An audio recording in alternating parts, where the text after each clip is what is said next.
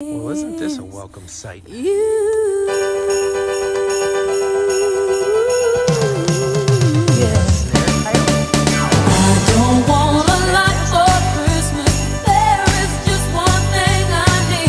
I checked the traps this morning, didn't see him. Just happened to be coming back, and there he is. Very surprised. And this is great. Boy, these coyotes are messing up all my stuff out here. I am so glad we got one. Thanks for watching.